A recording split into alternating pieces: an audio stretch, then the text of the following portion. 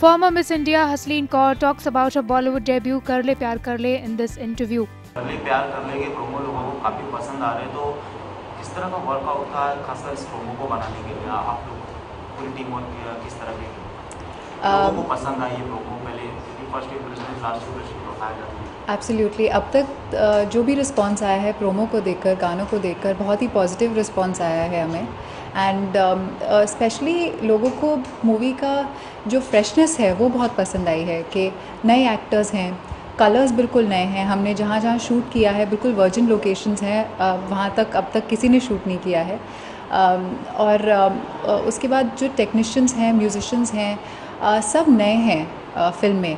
जो लोगों ने अप्रिशिएट किया है, लोगों ने नोटिस किया है, क्योंकि गाने जो हैं जो हमारे म्यूजिशंस हैं, एक गाना है कुर्बान।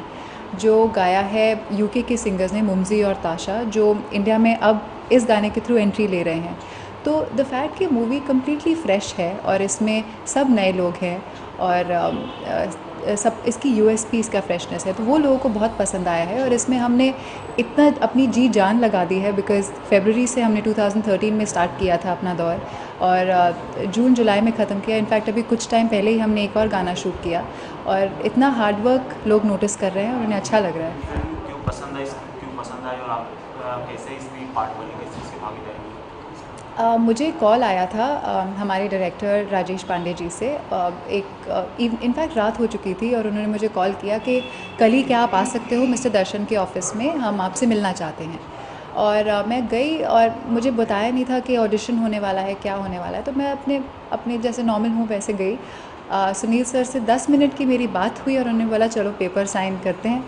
और मैं कुछ ज़्यादा ही एक्साइटेड हो गई कि मतलब 10 मिनट की बात में कोई बोल दे। और इतने बड़े वेटरन इंडस्ट्री के, सुनील दर्शन जी ने पिछले 25 सालों में कुछ इतनी बड़ी बड़ी फ़िल्में दी हैं, इतनी बड़ी हिट्स दी हैं कि मुझे नहीं लगता मैं मना कर सकती थी क्योंकि मेरे लिए इससे बड़ा प्लेटफॉर्म और कुछ नहीं हो सकता। किस तरह का एक्सपीरियंस था शिव दर्शन के साथ। शिव दर्शन के साथ। शिव दर्शन आई थिंक अब मेरे लिए एक फ्रेंड एक एक एक सपोर्टिव फ्रेंड के तौर पर even as a as a guide जो सपोर्ट करते हैं, जो मुझे बताते हैं कि किस तरह से इंडस्ट्री में क्या किया जाता है, लोग कैसे हैं यहाँ पर।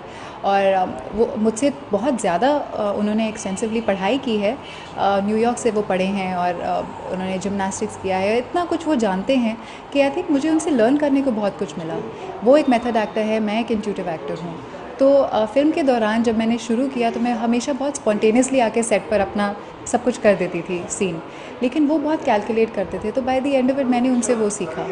और आई थिंक हमारा बॉन्ड इतना स्ट्रॉन्ग हो गया by the end of it कि अब मुझे लगता है he is going to be like a friend for life the first time जब मैं शिव को मिली अ, मैं उनके मिस्टर दर्शन के ऑफ़िस में थी और Shiv walked in after five minutes और जैसे ही मैंने उन्हें देखा I am like my god क्यों ये तो he is very good looking because मैंने गूगल को अ, पर उनकी पिक्चर्स सर्च की थी उन्हें मिलने से पहले और गूगल पर उनकी बहुत कम पिक्चर्स थी जहाँ पे वो थोड़े मोटे थे और अ, बहुत ही बॉय नेक्स्ट डोर थे बट जब मैं उन्हें मिली he was all very muscular and very very good looking like a star already तो मैं अब तक उन्हें सुपर स्टार बुलाती हूँ because he already looks like one so I think that that's my most memorable moment when when he walked in I was was like, I have to act with him मैं सबको यही message देना चाहूँगी कि please हमारी मेहनत को सहारें और फ़िल्म को अप्रिशिएट करें बिकॉज़ हमने बहुत मेहनत की है इस फ़िल्म को लेकर। फेबररी से अब तक हम मेहनत कर रहे हैं। अभी प्रमोशंस ज़ोर शोरों से हो रही हैं।